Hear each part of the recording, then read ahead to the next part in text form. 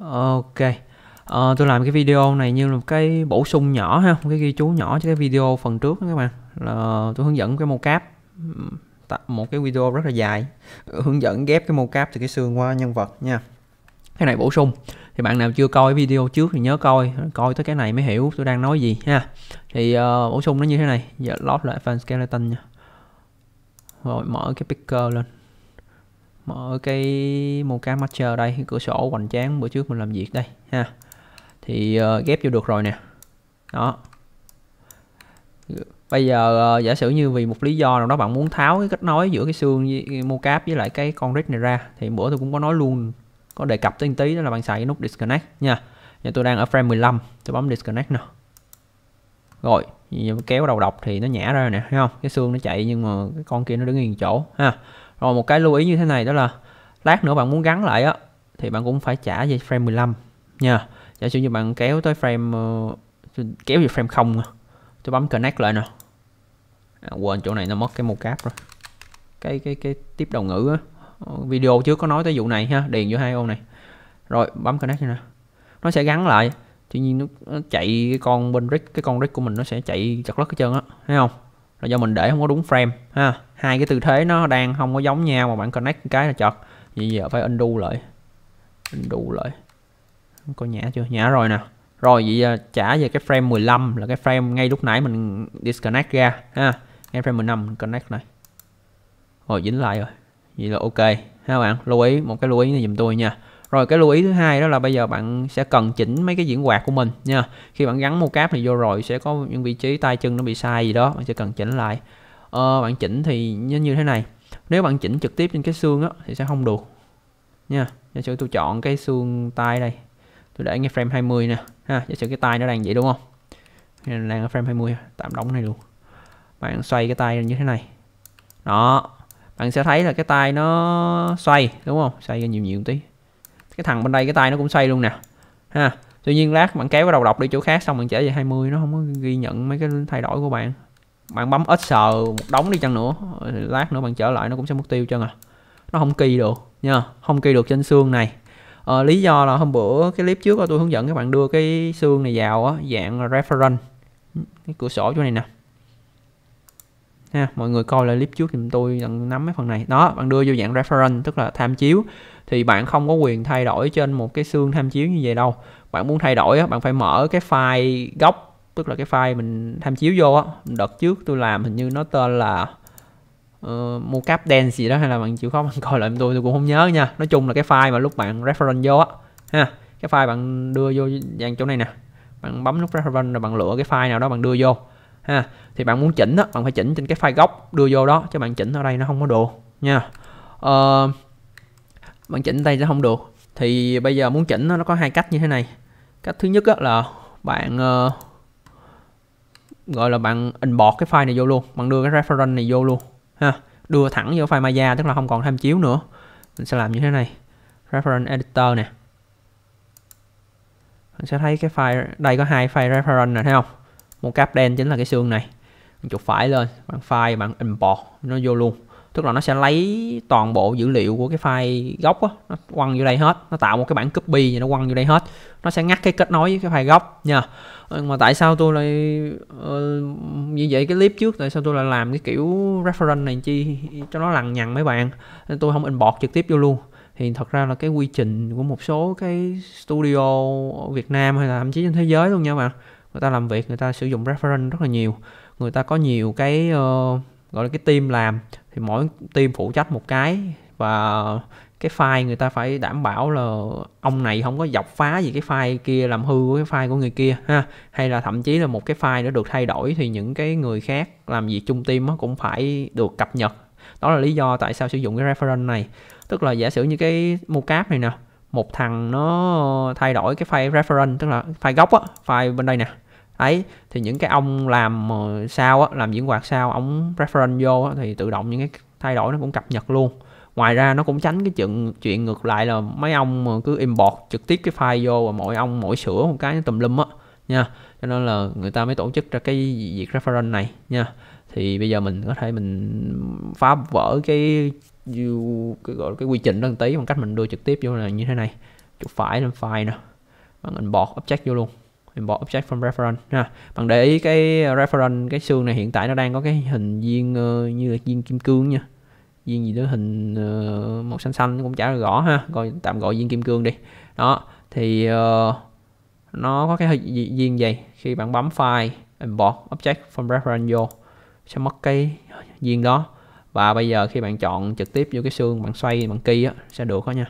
Frame 20 đúng không? Xoay cái tay qua vậy rồi.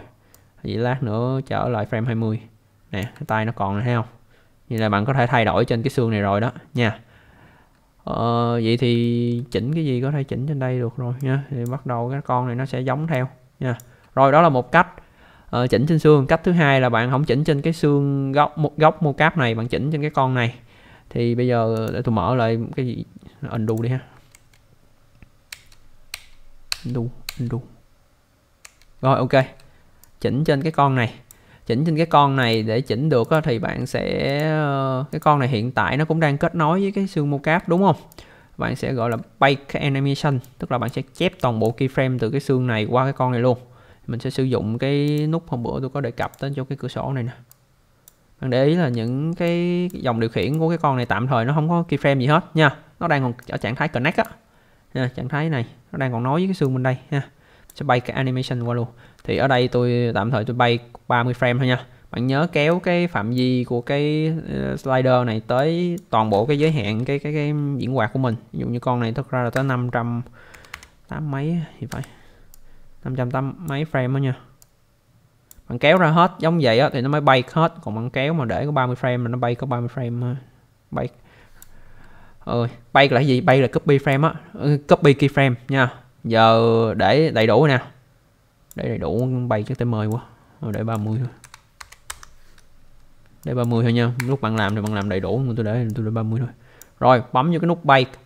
Ha, bấm bay nè. Lưu ý là ví dụ như mấy cái điều khiển của con này hiện tại chưa có key gì hết nè, thấy không? Chống lỏng, không có cái key frame màu đỏ. Rồi, bấm vô bay. Rồi, giờ nó đã lè hết trơn rồi, thấy không? Tức là nó chép những cái keyframe từ cái xương qua cái con này rồi giờ bây giờ bạn sẽ không còn cái chuyện là disconnect connect gì được nữa đâu nha. Ờ, thật ra là có thể được đó nhưng mà nó cũng nguy cơ là nó có thể lỗi nha. Nhưng connect lại thử. Connect lại rồi nè. Nhưng mà connect lại thì nó bị uh, cũng còn keyframe. Nhưng mà nó vừa còn keyframe kiểu này mà nó vừa có cái mối quan hệ connect lại ngoài nó lỗi cho nên tôi cũng không khuyến cáo đâu nha. Tôi khuyến cáo bạn là bấm cái nút bay này rồi thì đừng có bấm vô connect lại nữa ha. Đấy có keyframe chân nè à. giờ dẹp cái con bên kia đi cũng được nha. Con bên kia bấm vô disconnect. Bỏ đi rồi xóa quách cái con bên kia đi ha. Mình chỉ chơi con bên đây thôi. Con bên đây có 30 frame rồi nè. Bạn nên nhớ là mấy cái plugin này thì nó làm cho bạn hỗ trợ cho bạn tiện hơn ha. Nhưng mà đôi lúc uh, phát sinh lỗi thì mình cũng có khó kiểm soát cho nên là làm cái gì mình cố gắng làm theo cái phương hướng là an toàn nha. Đừng có thử trải nghiệm mấy cái mà nó không chính quy á. Nó lạ lạ tức là vừa connect cái mocap mà vừa bay nữa tùm lum ta la không nên ha. Rồi bay rồi giờ có keyframe rồi thì bạn có thể chỉnh nha. Ờ, giả sử như frame ờ, về frame 25 nữa. Nè tay này nó bị lúng vô đây đúng không? Bạn có thể xoay ra và lưu ý bây giờ nó mấy cái điều khiển nó ở dạng FK nha. Cho nên là xoay chuyển đó thì ừ, tôi đang nói linh tinh gì vậy? Ờ, cho nên là hiệu chỉnh gì đó thì cũng lưu ý là FK có một số cái bộ phận nó là FK nè như xoay ra đây. Đó cho đừng có dính cái tay vô cái quần nữa ha rồi mấy cái đồ thị này bạn cũng uh, liệu cơm gấp mắm mà bạn tinh chỉnh đó nha. Giả sử như nãy mình xoay cái đó là theo cái nào vậy trời? À, dạ, cái này nó hết đủ chỗ rồi nó không hiện đủ. À, rotate xác ha. Rotate xác gì vậy đây nè? À, một cái mẹo cho bạn như thế này luôn. Ồ chết rồi nó còn cái step tăng gần. Thấy tí rồi. À, đu lại đi. Chỉnh về chơi nó xếp tăng gần hết rồi. Thì nhớ chỉnh lại ha bạn? Vô chỗ uh, bánh răng này nè. Trước khi bay á trước khi bấm vô nút bay nhớ vô đây chỉnh lại nha. Vô animation vô uh, uh, default in với out này chỉnh về auto hết nha. Thấy tía rồi tôi quên vụ này nữa. Vậy bạn lưu ý giùm tôi nha có gì thì chịu khó undo lại load file là làm lại ha. Trước khi bấm nút này nè trước khi bấm nút bay bạn để vào auto hết đừng cho nó bay về, nó kép keyframe qua nhưng mà nó để dạng auto không mà nó để dạng step này là thấy tía luôn nè, thấy chưa? Dạ cả người quầm lùm la nha. Rồi để vào auto đi. Quét về vào auto đó thì nó cũng mượt nha. Cái chỗ này hồi nãy mình ờ, kéo ra đây. ừ, khúc sau cũng phải kéo ra nha. Đây là công việc của mấy bạn rồi nha phải chỉnh tay chỉnh chân đồ lại. Khá là kéo nguyên khúc đi.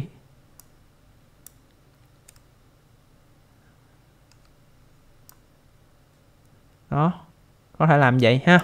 Thật ra cái uh, mẹo nó như thế này nè các bạn. Các bạn bạn tối ưu cái mấy cái diễn quạt này á là bạn chỉ cần quan tâm tới cái những cái đỉnh thôi những cái đỉnh và những cái đáy thôi giả sử như đây là một đoạn diễn quạt đúng không? Thì bạn chỉ quan tâm tới cái đỉnh cao nhất chỗ này và cái đáy của nó là khoảng khúc này thôi. Còn mấy cái frame giữa này đâu có ý nghĩa gì. Đúng chưa? Bạn có thể quét hết, bạn bấm delete thôi, thì cái chuyển quạt của cái tay nó vẫn đúng, cái đồ thị này vẫn đúng nè. Nha. Và tôi cũng khuyên mấy bạn làm gì đi, cho cái cái diễn quạt toàn bộ cái file bạn nhẹ lại, ha. Ít keyframe là cái file nhẹ. Tại vì cái nguyên lý mocap là nó bắt chuyển động, nó bắt từng frame mà, cho trên chỗ nào frame nào nó cũng sẽ key bộ phận nào, frame nào nó cũng sẽ key. Nhưng mà giờ tới đây mình được cái diễn quạt, cái đồ thị cơ bản gì rồi thì những cái chỗ nào không cần thiết bạn có thể xóa. Giả sử như là chỗ này cái đáy này đúng không? Như vậy nó lên chỗ cao nhất là khoảng tầm này là cái đỉnh nè. Vậy cái đóng ở giữa cái frame ở giữa này bạn xóa quách nó đi nha. Nó vẫn là cái đường đường đồ thị nó đâu thay đổi gì nhiều. Đúng chưa? Có thể nó thay đổi chút đỉnh chỗ này, cái cái cái độ cong, cái độ lài của cái dốc thôi nha xóa quách mấy cái giữa đi. Một là nó nhẹ cái file hai là bạn cũng dễ con mắt bạn cũng dễ chịu hơn nữa bạn không có rối ha. Mình chỉnh nó cũng dễ hơn. Giả sử như chỗ đó mình cần xoay cái tay thì mình xác định ờ, uh, xoay chỗ cái đỉnh hay cái đáy sao đó mình xoay nha các bạn? Rồi ok đây là công việc của mình sau khi bắt mua cáp nè. Cáp nó cho bạn cái đồ thị đúng không?